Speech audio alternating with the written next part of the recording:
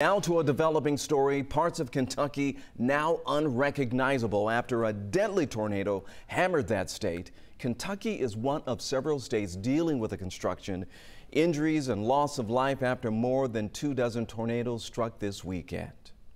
It's just something you don't think is going to happen in your own community. So uh, you just can't take things for granted. For Kentucky, it's the deadliest tornado event in its history. State officials say the severe weather killed more than 80 people.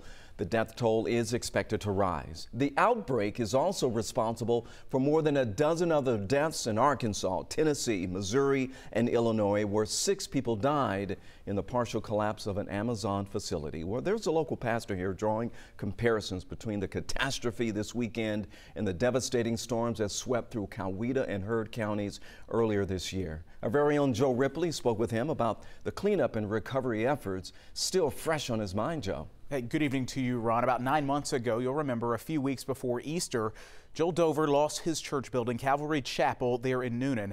An EF4 tornado destroyed much of the landscape of Coweta and Heard counties.